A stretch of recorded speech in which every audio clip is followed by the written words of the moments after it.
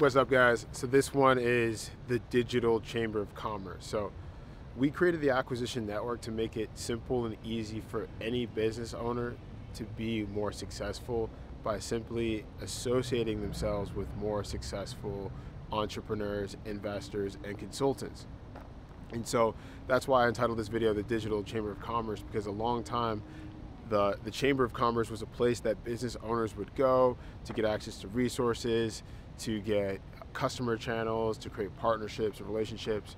And that's something that a business owner would pay just to have access to a small little local database of business owners and relationships.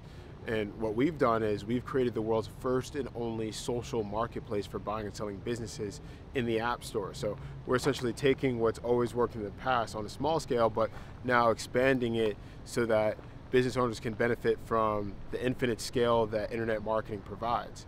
So when you download this app as a business owner, you get access to a marketplace where you can learn actually how to acquire other businesses that are for sale so that you could grow exponentially faster you also get access to a community and a job board so that you could staff your company faster, more efficiently, right? So we've got over 20,000 US based agents that work with some of the largest Fortune 500 companies in the world. And we've got multiple executives that have been C level, suite level entrepreneurs at a $100 million brand.